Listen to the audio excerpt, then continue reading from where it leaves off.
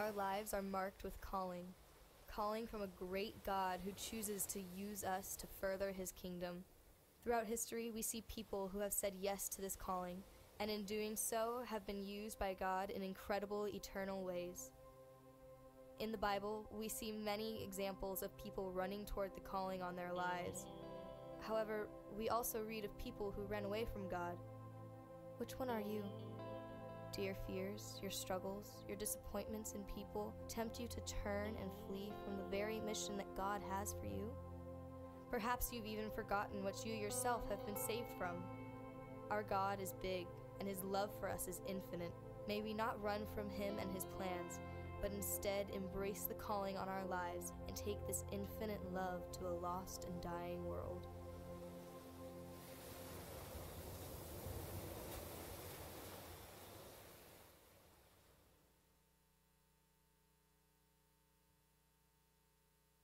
All right, good morning, everybody. How you doing out there? Doing good? All right, welcome, welcome. Yeah, you can clap. You can clap anytime. Yeah, this is a great place of celebration. Hey, I just I want to celebrate um, a couple different uh, folks, and that is all of our first time, our new guests with us today, and all those watching online right now as well. Can we welcome our online church family? We're so glad you're tuning in on YouTube or Facebook or wherever you're at. We're glad. Maybe you're traveling. Someone said, I'm going to be, someone told me last week, I'm going to be gone for a few weeks, and I, I want to be able, I don't want to miss a service, and so I want to be able to tune in. And so uh, if that's you, we're, we're glad that you're tuning in with us this morning. I want, I'm eager to get into the Word of God with you this morning, but because of Pastor Eli's amazing setup to this series of Jonah, right?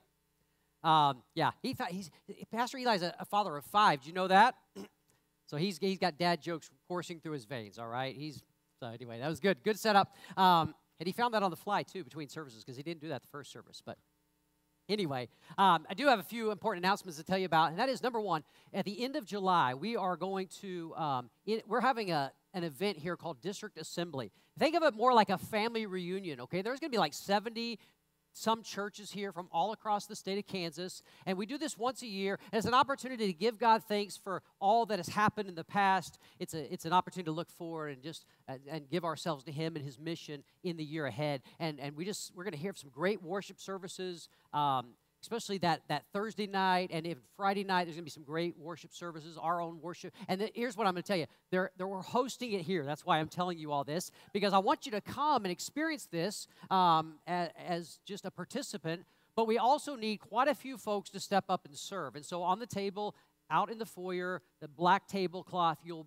you'll see lots of clipboards there and several different teams that you could serve on. We need all we need greeters, hospitality. We're going to be serving some um, refreshments. We need people in you know nursery, childcare, all these things. Set up and tear down. There's a massive amount of set, setting up and tearing down to do to get ready for different nights, different things that are going on. And we just want to be really good hosts. So we want to be equipped and prepared for that. So we need we need lots of people to come. We we need you to not serve the whole weekend. We're not asking that. We're just asking would you pick a time slot? Would you pick an evening or a day if you're free during the day to come and, and serve and just be a part of it? And I, I believe you'll be very blessed as you're participating in the worship or serving, whatever you're doing, all right? Uh, so, Pastor Sarah has got, um, if I could point you to any team, check out the child care team for sure. We need everybody uh, in many roles, but child care is the one we're going to be really heavy loaded down with because we got lots of kids coming uh, from all these parents and all these people from different churches coming, bringing their kids as well. All right, it's going to be a great event, though, so mark that on your calendars um, at the end of July there, okay? And then also, again, happy Father's Day. We've got some fun things, hopefully, for you out in the foyer. Maybe you saw Dad's junk drawer table. If you haven't already grabbed your item, you get to pick, okay? You get to pick one thing from that table and, and enjoy it, use it. And then there's a photo booth and all that good stuff. And then let me remind you also of uh, July 3rd. July 3rd, which is uh, a couple weeks from now, we will not be meeting here, but at 10 o'clock in the morning, we'll be at Heritage Park. All right? And I'll be, uh, there's actually a couple of us sharing God's word. I'm going to be one of them. I'm going to be preaching that morning as well uh, from the big stage in Heritage Park. It's outdoors, so bring your lawn chairs, blankets, uh, bring some drinks, just be ready. 10 o'clock, we'll hopefully be done before it gets too hot. Uh, but we'd love to see you come out to the park, and that's always an exciting service. Just all the churches of this area coming together, many of them anyway, and uh, really looking forward to that. So, wanted to make you aware of that. Spread the word. July 3rd, no services here. We'll be at Heritage Park at 10 o'clock. All right. With that, if you're ready this morning, if you are ready to jump into the living and active Word of God that is able to transform you and build you up in the faith, say, Let's go. All right, amen, amen. I thought that was a lot better way to begin than please turn to Jonah chapter 1. I just say.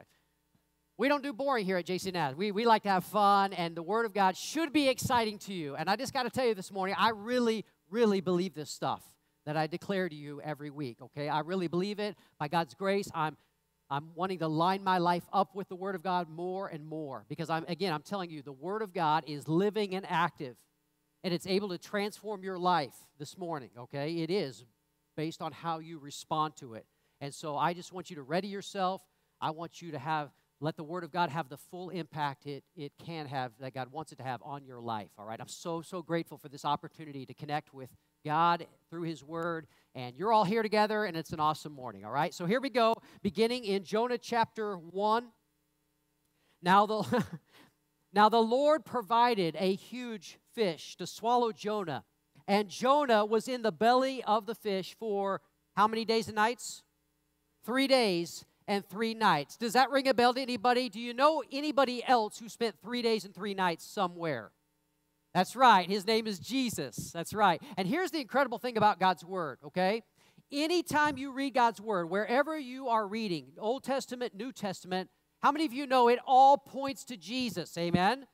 It all points to and reaffirms the supremacy of the lordship of Jesus Christ. And Jesus, Jesus our Lord, he was he came to this earth from heaven, took on flesh to show us the love of the Father and the message of the Father. He declared that faithfully and perfectly. He, he was tempted in every way but we, as we are, but he was without sin. So therefore, he was qualified to be our sinless sacrifice on the cross. And he came and lived among us. He died a horrible criminal's death, even though he had done nothing wrong on the cross. He was buried. He was put in that tomb. They sealed the rock in front of it. But here's the greatest news that has ever been declared. Just like he promised, three days later, he rose from the dead. Amen?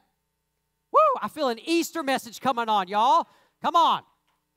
That's right. Um, hey, we're a long ways from Easter, but how many of you are grateful for new life in Christ this morning, right? New life and new power in the Lord Jesus Christ. So, even this little part of Jonah, mentioning being in the belly of the fish, Jesus was in the belly of the earth, you might say, for three days and three nights, but he conquered the grave. Praise his name. Now, just a little recap of last week, just in case you weren't here or you forgot everything we talked about, all right? It's why you got to take notes, all right? You got to take some notes today so you won't forget. But we're we are journeying, we're journeying through this very small, very short, but very powerful part of God's word called Jonah. And Jonah was a real person, okay? Jonah really did live. And he had a very, very special assignment from God. He had a calling upon his life, just like you do if you're a follower of Christ. Jonah's calling was to be a prophet of God. Now, we don't have prophets today. It's not like you got to go, we don't got to have a prophet to get a word from God. But you understand something. This is before the Bible was written. This is before Jesus came. This is before the Holy Spirit was poured out. And this is the way God was pleased to speak His word and, and declare His will to the people. He used prophets. He spoke to his people in many different ways on many occasions, the Bible says, through the prophets. But in these days, Hebrews declares, he has been pleased to speak to us through his son. And Jonah was one of those prophets. Jonah's job was to hear from God. He was to receive the message God had for him. Then he was to take that message and faithfully declare it to the people of God.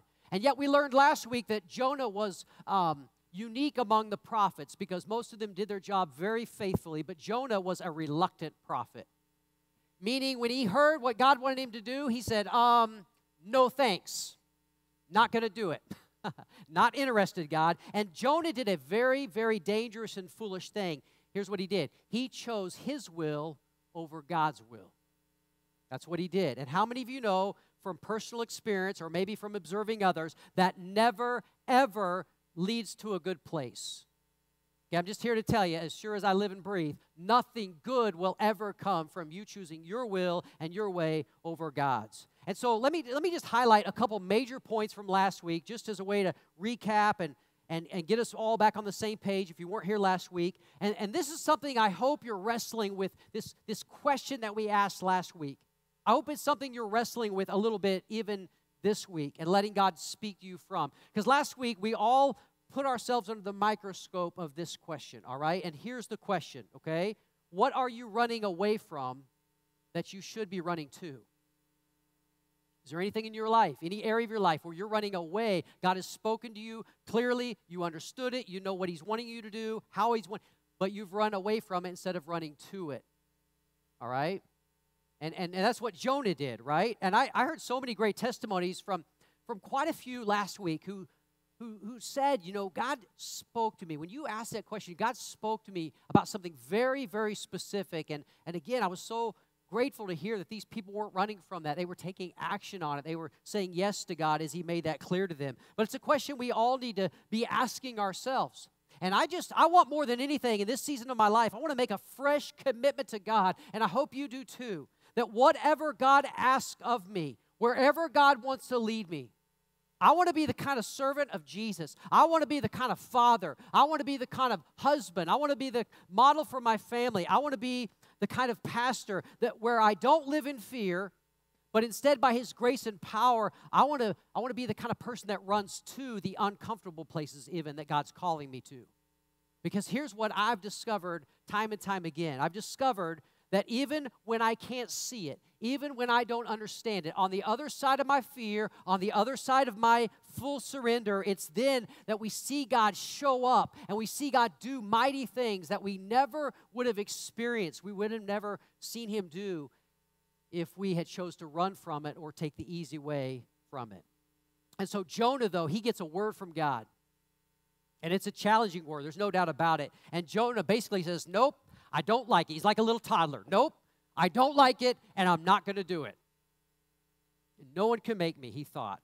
He, he, listen, he actually thought that he knew better than God. Can you believe that?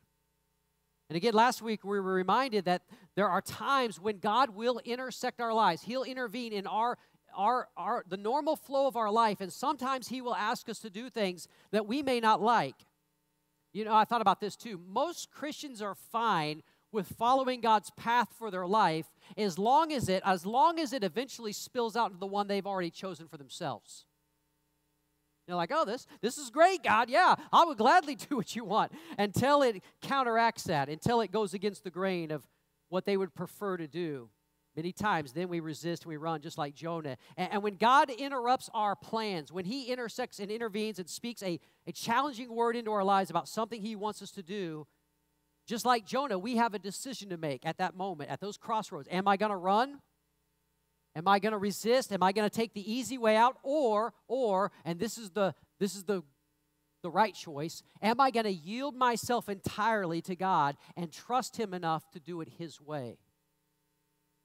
And and as we see so clearly in the story of Jonah, whatever you decide, whatever you decide at that point, whether you're like a Jonah or whether you choose to yield yourself entirely and obey, it has tremendous impact upon your life. And I will say this not only your life, but on the lives of many people around you, either for positive or for negative. And so Jonah, he gets this life changing word from God. He receives this invitation from God Almighty to partner with him in his mission, but he doesn't respond in obedience. Instead, he doesn't like it. And so he heads 2,500 miles in the opposite direction that God has called him to go. And somehow he reasoned in his mind you know, if I can just get far enough away from God, maybe I won't hear Him. If I can get far enough away from God, maybe I won't have to listen to all this crazy talk about taking this message of hope and taking this message of forgiveness to these wicked people that I don't even like, that I would rather see destroyed, to be truthful, these people called the Ninevites. And so Jonah, what he does, he gets on this boat. Remember last week he found the ship in the bound for the port of Tarshish. 2,500 miles away from where he was. And, and God, what God does is he sends this gigantic storm that threatens to break the ship apart. And all the sailors are fearing for their lives. They're throwing the cargo over the ship to lighten the ship and hope to salvage some things. And it's quite a scene to imagine, really.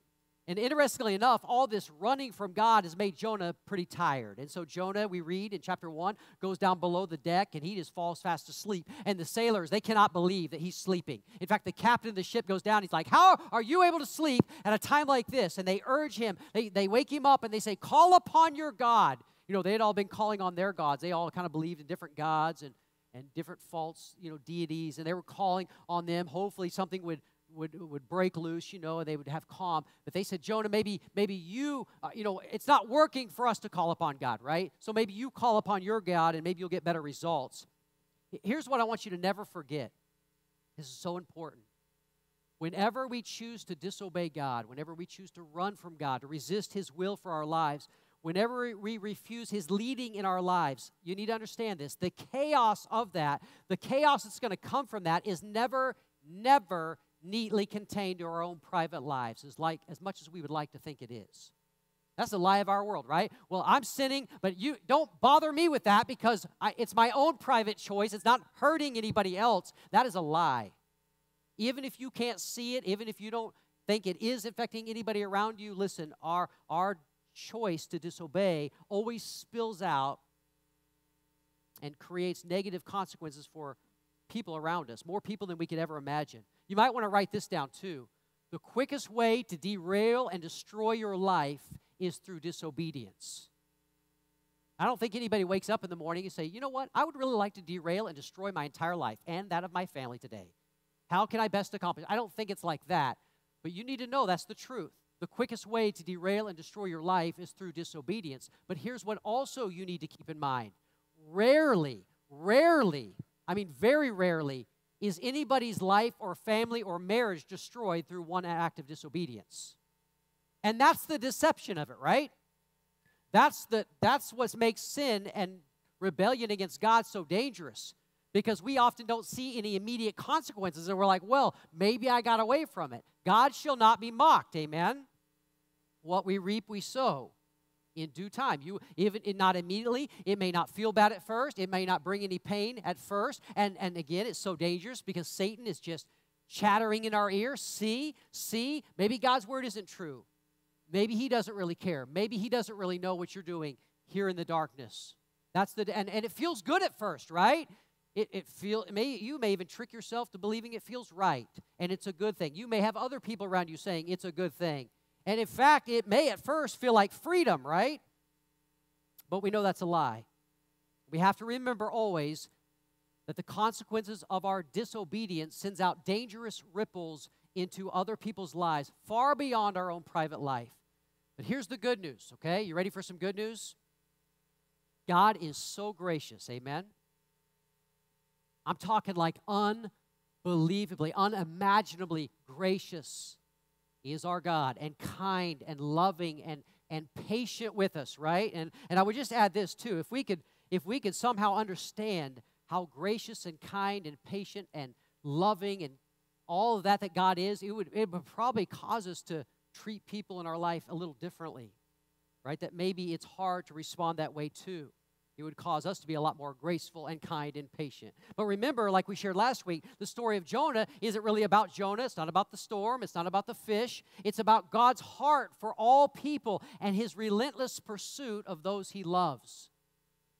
Listen to this even when they blow it. Amen? Even when they absolutely blow it. And so, God, He, because of His great love and kindness and patience and, and, and all this, He goes after Jonah. He doesn't say, Oh, well, fine, I'll find me another prophet. He blew it. He's done. He's out. No, he doesn't do that. He pursues Jonah big time. And you can read in chapter 1 how Jonah then, you know, he wakes up from his nap and he tells the soldier or the sailors, he says, uh, hey, the storm is really all my fault. He finally gets honest. And they ask him, what, what, what should we do? What, what, do you, what do you suggest? And they, he says, well, what you need to do is throw me overboard. And if you throw me overboard, the storm will calm. And it, interestingly enough, as you read the scripture, they didn't want to do it, right? It's really ironic to me that these pagan sailors who didn't even know the one true God personally yet, they have more compassion for people than Jonah, God's very own prophet. And they don't want to kill him. They're like, no, no, no, no, no. That's crazy talk. If we throw you into the raging sea, you will die. And so they try everything they can to get it back to shore. Finally, they realize, though, it's a futile effort. It, it's not going to work. And so you can kind of see them, right? You got to picture this in your mind. They grab Jonah and they got a grimace on their face. They're like, okay, man, we really don't want to do this. God, please forgive us. And they throw him overboard into the raging sea. It's, it's a great story, right? Now, here's the part we've all been waiting for, okay? Here's, here it is. God, out of nowhere, it sends this huge fish. He sends this huge fish to swallow Jonah up. He sends a huge fish, right? Now here's what you got to here's what you got to get when you read this. If you misread this, if you don't read this carefully, here's what you're going to think. And maybe some of you do think this. Maybe you think this because this is the view you have of God. If you don't read this carefully, you're going to read this and think that this fish that God sent to swallow Jonah up was his punishment. But that's not true. Look at the first word. Now, the Lord punished Jonah by sending a huge. Is that what it says? No. It says the Lord what? Provided. Provided a huge fish for Jonah to grab onto and swim safely back to shore, right? No, no, no. He sent a huge, he provided a huge fish to eat Jonah. That's what it says. But again, here's what you have to keep in mind. This fish, this sea creature, whatever, it literally means sea creature, whatever it was, it was not God's punishment. Catch this, it was God's provision. He did not send this fish, he did not send this fish to pay Jonah back for his rebellion. He sent this fish to bring Jonah back to bring him back in alignment, right? To bring him back into a place of blessing with God and a relationship with God where he could experience the joy and the privilege of partnering with God on his mission. That, that's why he sent the fish. And sometimes we just need to stop and remember that, right? We need to remember that when we experience our own moments of being in the belly of the fish, whatever that may represent for you. That can mean a lot of different things for us, but sometimes it, we need to be aware that the activity of God in our lives seems a whole lot more like punishment when actually many times because of our who our God is, it's actually his grace his gracious provision for us. Right? So we need not to kick against it and and rebel against it even more. We need to submit to it. Listen, so many places, so many times in God's word, God has chosen to reveal himself as our Father. That's very appropriate, especially today, right? And like a perfect lo- father that he is, and because of his absolutely perfect love for us, here's what God does God disciplines his children. Now, you may not like that. You may not desire that, but that's what God does. He is absolutely committed to seeing the full expression of His will come to reality in your life. And, and many times, in order to make that happen and cause that cause you to experience he needs to discipline you. You think about it in earthly terms right? Now discipline could take on many different forms right? But we must discipline our children. The bible's very clear about that. If you as a parent or a caregiver did not discipline your children you know what would happen? You would absolutely wreck their lives. You would if you withheld discipline from them, if you gave them everything they want and never let them experience the pain and the consequences of their choices, and their disobedience against you, it would be actually the most unloving thing you could ever do to a child is never to discipline them. But God, because of the perfect father that He is, He disciplines us. He disciplines His children. You know why? Here it is to save us from ourselves. Hello. To bring us back many times from the brink of destruction because of the destructive path we've chosen to walk, because foolishly sometimes we believe that we know better than God.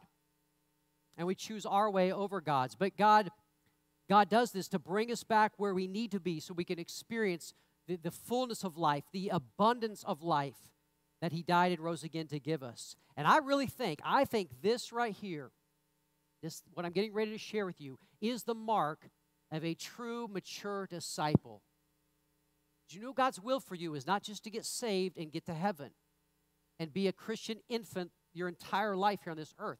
God's will for you is to mature and to grow and to deepen and to become more like Christ in every way. And, and I believe this characteristic right here of having a sensitive and responsive heart, one that is quick, I mean, quick to obey whatever the Lord is directing us to do, that is one of the key characteristics of a mature disciple and a follower of Jesus.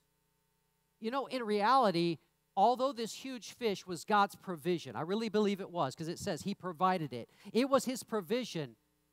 But let me tell you this in love He should not have to send a fish into your life and you just let that fish represent whatever it needs to be or currently is in your life. But here's what I'm saying God should not have to send a major calamity, He should not have to send a severe storm into your life to bring you back and get your attention as to what He wants to do in and through your life. Amen?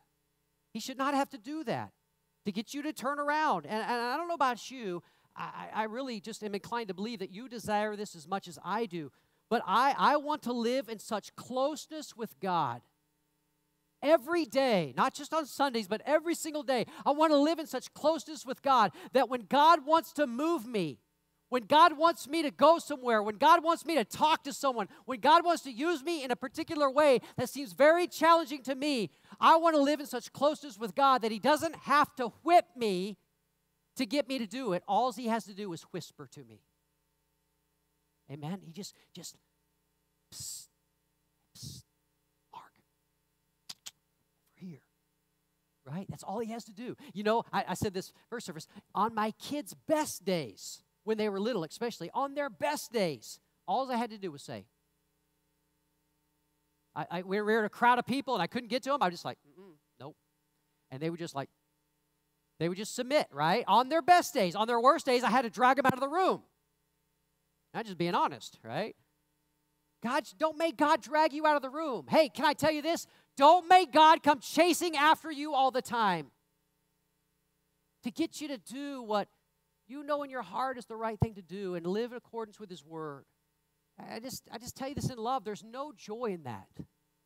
There's no delight in that. There's no blessing in that whatsoever. None. And besides that, I, I pray this morning that the Holy Spirit will impress upon you today how incredibly dangerous it is to run from God. This is pretty heavy, but I'm just going to say it. Eternity eternity is a long, long, long time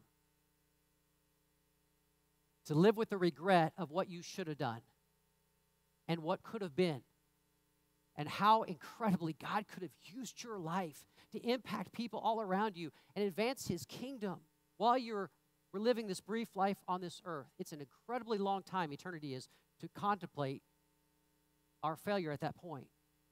We, we don't want to end up there. We don't want to go down that path. So here's what I want to encourage you to do make it the posture of your heart to be such that when God calls you, when God desires to send you, when God speaks a word to you, your response is, is not like Jonah, where you run as hard and fast as you can away and make God come after you with a storm and a fish. Instead, it's more like Samuel, who said, Remember the boy Samuel? Speak, Lord. Speak, Lord. I am listening. I am your servant, right? Or maybe more like Isaiah Here I am, Lord. Here I am. Send me. Right? Or like Peter, hey, hey, God, because you said so, I will do it. Because you said so, I will do it. We, we want that to be the pattern of our lives. But here's what I want to do this morning. I want to kind of turn the corner this morning, and I want to speak a word of hope, and I want to speak a word of strong biblical encouragement into the life of someone here today who, who you may find yourself in a tough place this morning. You may find yourself in a dark place this morning because of if you're honest, probably because of your choices. You went right when God said go left. You stayed put when God said advance. You heard God's word, you understood what He wanted. You chose to do something different. You chose your will over, over God's will. Well, the question is, what, what do we do when we get into a place like that? Maybe some of you, if we're really honest, some of you this morning, maybe even listening online, you're perhaps experiencing the residue right now, the consequences of who knows, weeks, months, years of running from God. So the question is Is there any hope there? I believe there is. What do we do when we find ourselves in that dark place, when we find ourselves in the equivalent, our equivalent of the belly of the fish? Well, here's the right answer right here Jonah chapter 2, verse 1. Look at it with me. From inside the fish, that's about as low as you can get, right? You may have had a bad day, but I guarantee you've never had that bad of day. Inside the belly of the fish, Jonah, here it is, prayed to the Lord his God. Amen. I bet he did. I bet he prayed hard. Right there. I love it. Right there in that dirty, dark, smelly, nasty place. He starts to call out to the Lord his God and he prays probably one of the most sincere prayers he's ever prayed in his life. Interestingly, a few moments ago, he, he didn't want to have anything to do with God. He couldn't get far enough away from God. And now, interestingly enough, God's got his attention and he's like, um, God, can we talk? We talk for a minute, God. I uh, have some things I want to share with you. And, and you and I, if we're honest, would do the same thing. Let me just read all of, all of chapter 2 right here. It says, um, In my distress, I called to the Lord, and he answered me. From the deep in the realm of the dead, I called for help, and you listened to my cry. You hurled me into the depths, into the heart of the sea, and the currents swirled about me. All your waves and breakers swept over me. I said, I've been banished from your sight, yet I will look again towards your holy temple. The engulfing waters threatened me, the deep waters surrounded me. Seaweed, this is very descriptive, seaweed wrapped around my head. To the roots of the mountains I sank down. The earth beneath barred me in forever. But you, Lord my God, brought my life up from the pit. When my life was ebbing away, here's what I did I remembered you, Lord, and my prayer rose to you to your holy temple. Those who cling to worthless idols and turn away from God's love for them, uh, those who cling to worthless idols, here's what they do they turn away from God's love for them. An idol is anything you make more important and more valuable than God in your life. And when you do that, you turn away from God's love. But I, Jonah says, with shouts of grateful praise will sacrifice to you. What I have vowed, I will make good. I will say, salvation comes from the Lord. And the Lord, here's what the Lord did the Lord commanded the fish, and it vomited. That's a gross word. That's the grossest word in the English language vomited Jonah onto the dry land. All right. Here's what I love about Jonah, though. I love what he says right there at the beginning. He says, In my distress, in that awful, in the darkest place of my life, in the time, listen, in the time when I absolutely blew it because I knew I did something I knew better than to do, I called to the Lord and he answered me. Listen, I want to affirm to you this morning that when you're in trouble, there's only one place to turn, and his name is Jesus. When you're in the pit, amen. When you're in the pit, there's only one who can help you, and his name is Jesus. And Jonah finally woke up, right? He God got his attention. And Jonah took that critical but difficult first step back to the path of blessing. Jonah knew this. Jonah knew he had no power within himself to help himself. Some of us need to get to that point. In our sin and our brokenness, we need to finally realize I need a Savior. I need His forgiveness. I can't clean my life up. I can't polish it up on the outside. I can't go to church enough days of the week to make this right. I need his salvation. I need his forgiveness. Jonah realized he couldn't help himself. He also realized this there was no human help for me in this predicament. This, the guys on the boat weren't going to help him, right? There was no way they could provide any help. If they could have, they would have, but, but they couldn't. And the truth is, nobody except God was going to provide any solution to this guy's problem. And I, I just, I have this suspicion.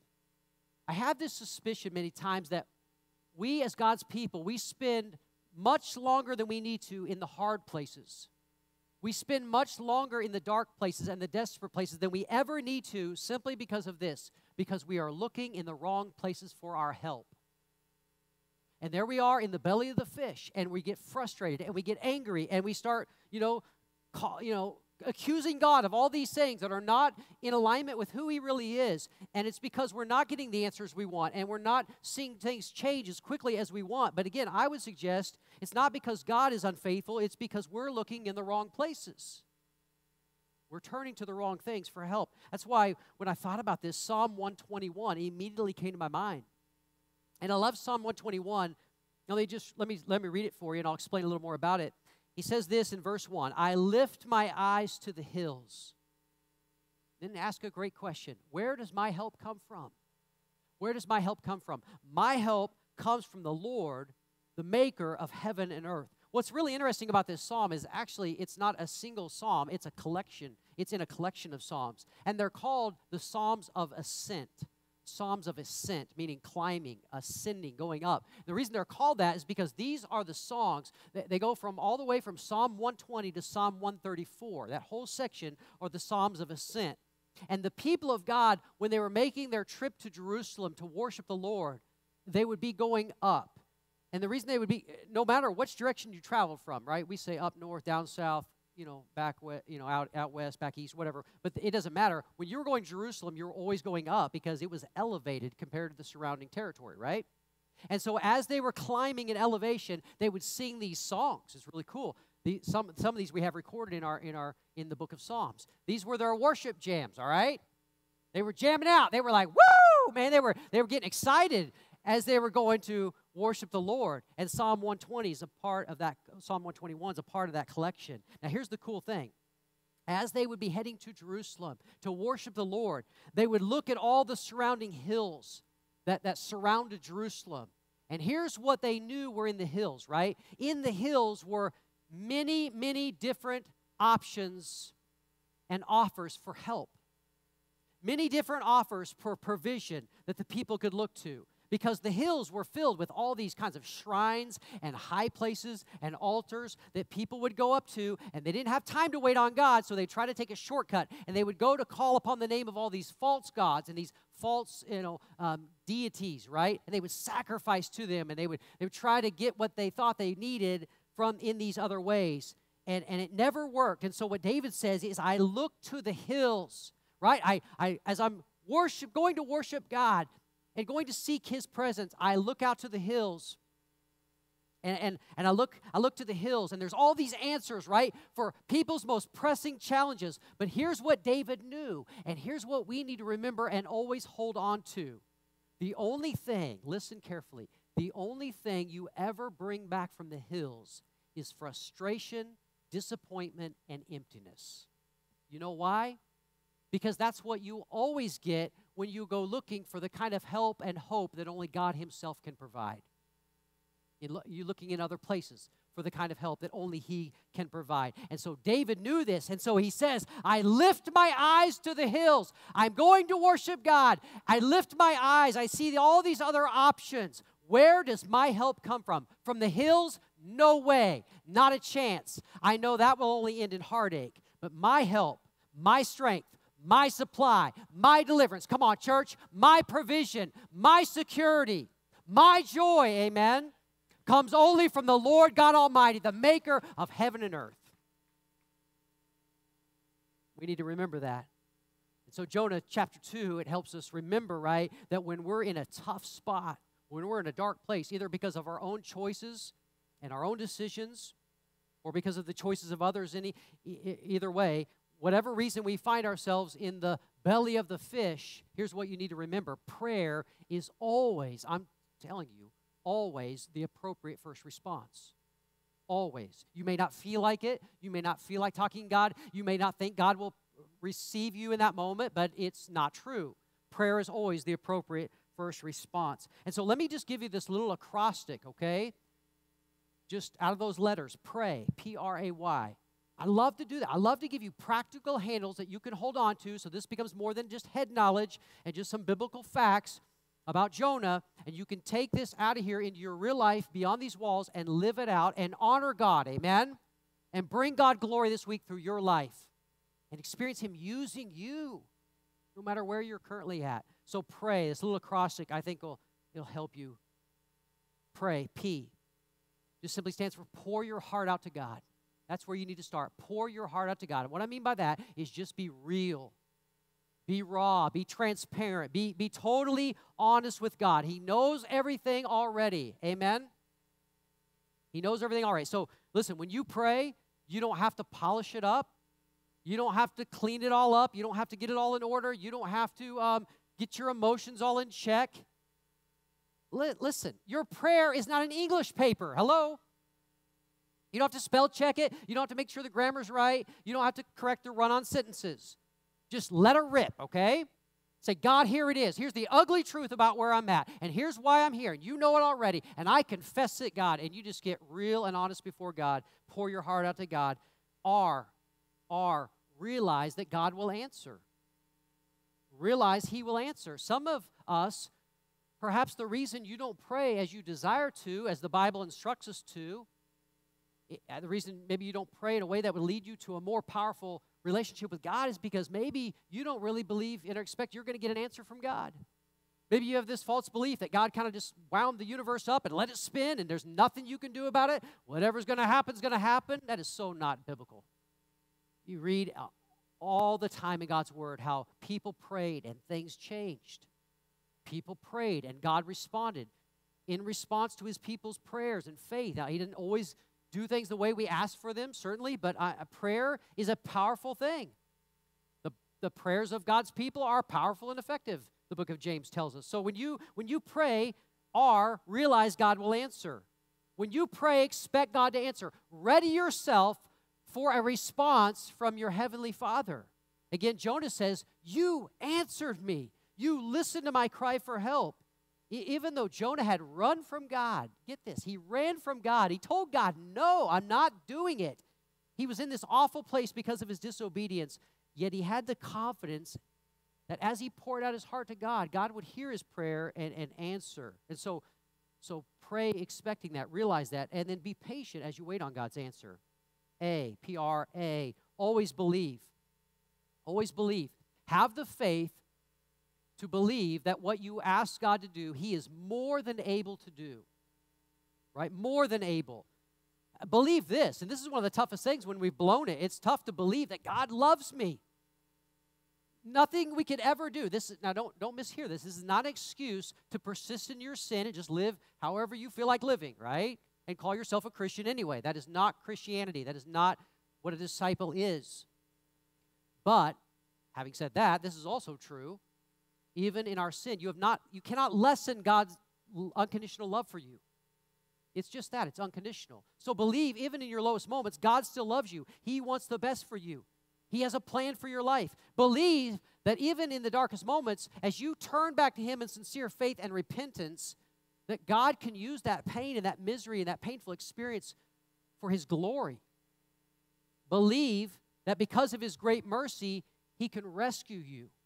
Believe that through genuine repentance and by showing the fruit of repentance in your life, God can restore you. Amen?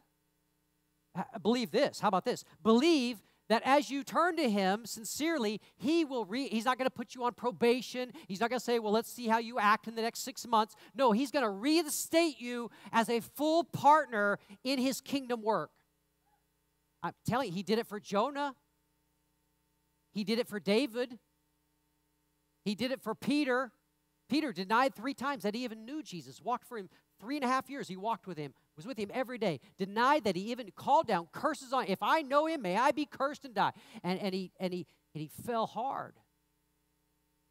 And yet God restored him. He became the leader of the church. It's incredible. He believed that, okay? He, he did it for them. He can do it for you. And then why, finally, why? Yield to whatever God tells you to do. So as you're calling out to God, God's going to be responding. He's going to believe, you're believing He's going to have an answer for you. He's going to get you back on track. And then whatever He leads you to do, understand, He's not going to change His plan, right? He's going to, He's going to, he comes right back to the message and the mission that Jonah he had for Jonah. He's going to do the same for you. And so you got to be ready to yield to whatever God tells you to do in that moment. And I'll just say this really, really honestly and really bluntly. If you're not willing to carry on with this step, I don't see any value in praying at all, to be honest.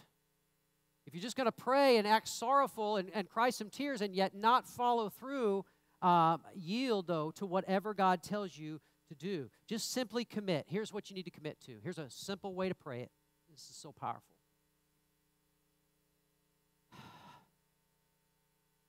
You say, God, I want your will more than my will.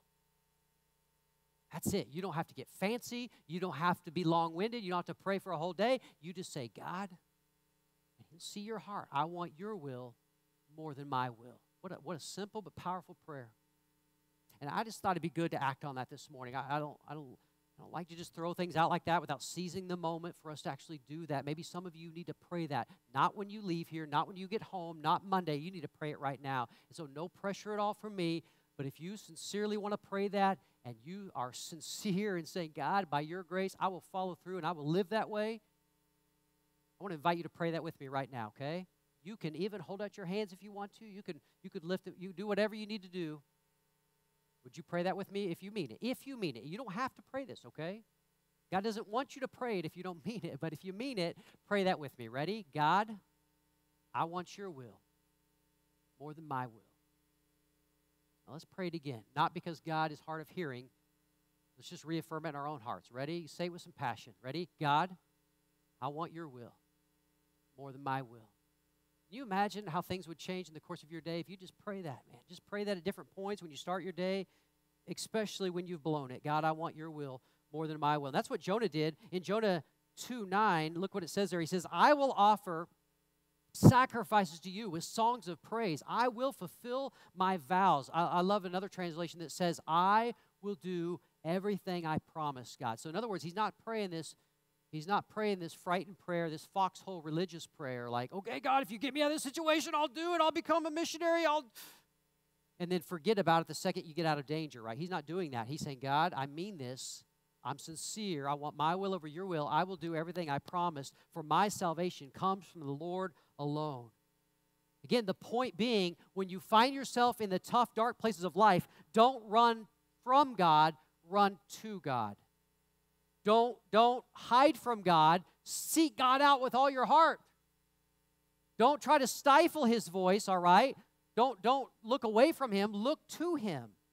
And I know it seems so obvious, right? You're like, well, of course, that's that's how we should live. It seems so obvious and and our energy is high and we're in a wonderful worship service we're like, "Yes, I'm going to do it this week. I'm going to live that way." But I also realize our human nature.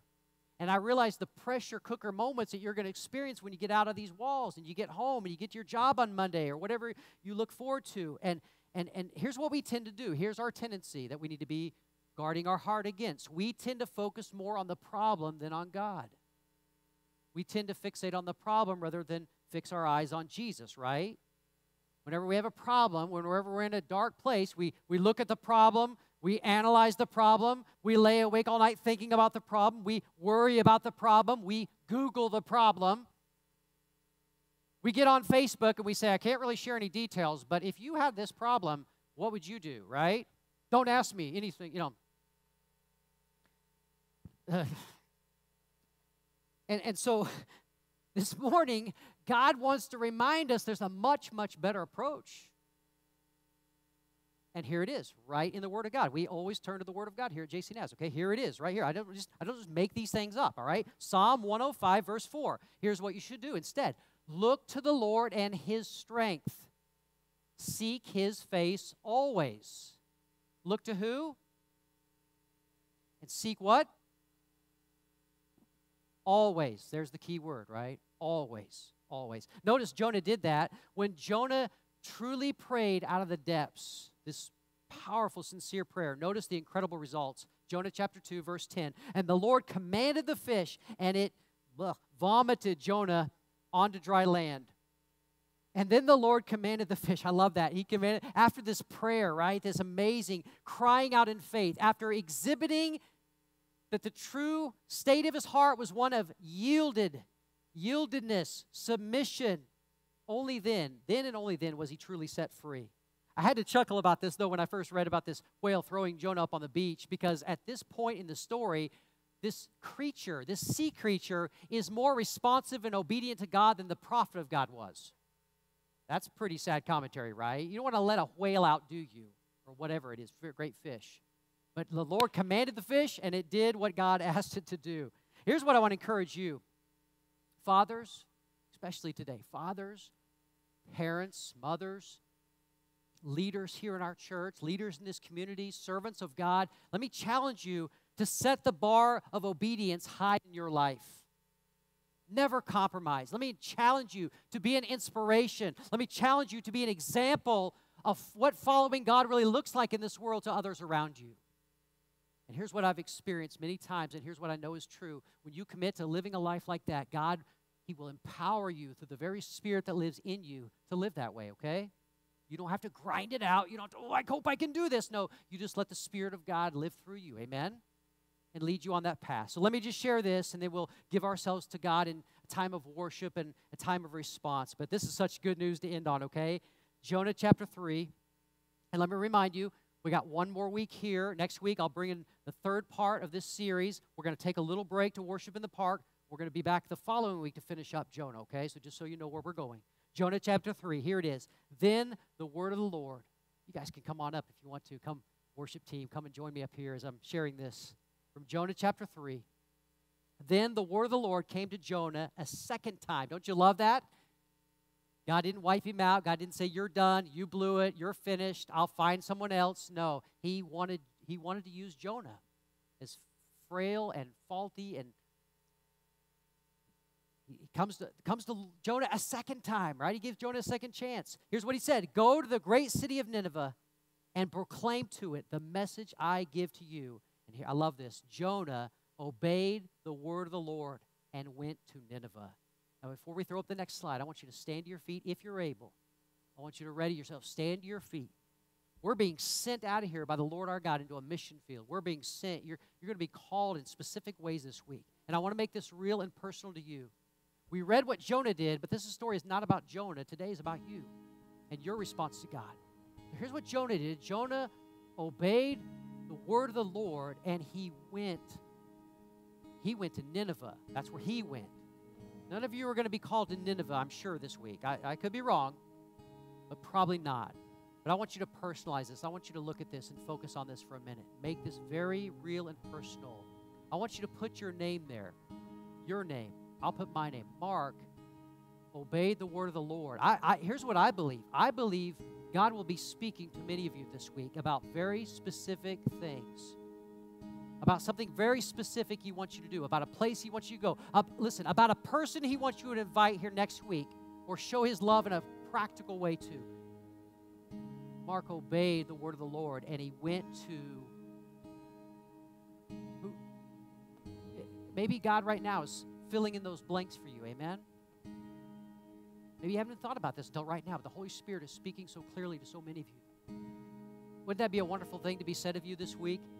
If we come back next week and the scriptures were written about you, you obeyed the word of the Lord and you went. You went. You did, did what God asked you to do. Amen? Would you just look at that for another few seconds? Would you, would you pray out of the depths of your heart right now, wherever you're at, whatever your relationship has been like with the Lord this week? Just make that real?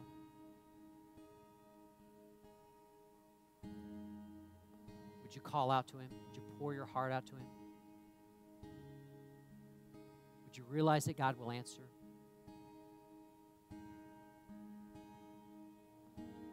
We believe that God is able to do what you're asking Him to do. Will you yield yourself entirely to God right now? As you're thinking about what God's calling you to do and where He's sending you this week. Maybe even today. Maybe, maybe before you do anything. Maybe before you eat lunch. Maybe before you go home. You need to do what the Lord's called you to do. Maybe it's that urgent. I don't know. Would you just pray this prayer again? God, I want my will over your will.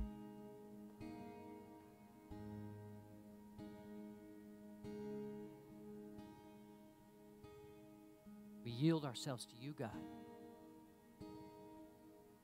God, you are Lord Almighty, the maker of heaven and earth, you help us so faithfully at every turn in our lives. In the good and the bad, in the valleys and on the mountaintops, you are there to faithfully provide for us and to lead us and to guide us. So, God, our desire is to be your people on this earth, to be your messengers, to be your ambassadors, God, to, to obey you, to be eager to respond to you where you lead us. God, we say out of the depths of our heart this morning, anywhere, anytime, any place, any person. God, send us. We're ready and we're, we're, we're willing to respond, God. We want to do your will.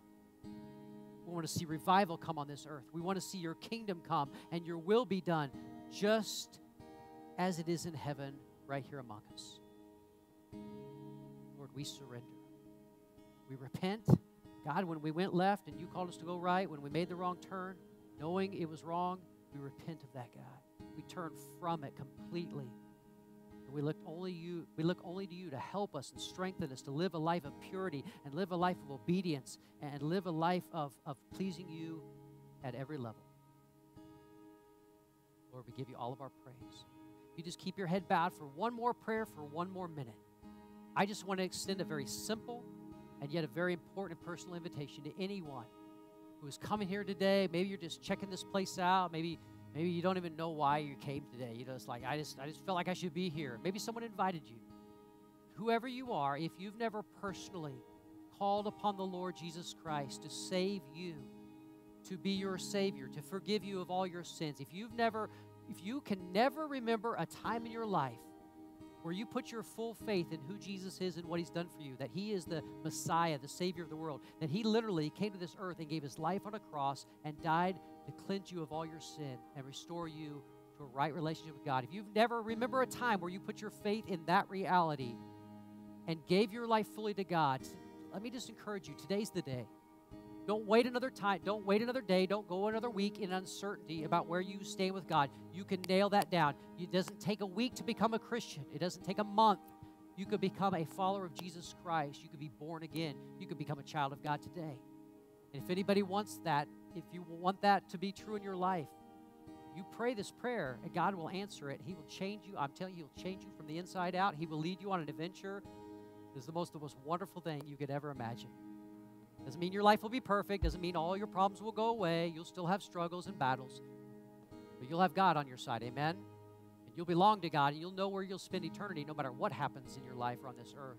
So I just simply say, if you want that, would you? We're not going to ask you to speak. We're not going to ask you to come up front. You're not joining the church, but we want you to be bold and make a commitment to God of your life. And if you want that, I'm going to ask you to raise your hand. One, two, three, right where you are. Raise your hand if you want that right now. If you've never prayed that, you wonder where you are with God, but you you believe you believe that there's a moment where I need to turn to Him. Anybody at all? Anybody at all? This is your chance. Don't be afraid. Don't be timid. I want to lead you in a prayer, okay? All right, okay. Praise God, all right? Let me pray for you. Father, may your blessings be upon your people. May you be our strength. You are our hope. You are our help. Lead us out here in confidence, God. We want to be on mission for you, God. We are your people. You're our God. We give you all of our praise in Jesus' mighty name. Amen. Hey, have an incredible weekend, all right? Let's give God praise this morning as we leave. All right, praise God. Good to be with you. Encourage one another as you leave this place.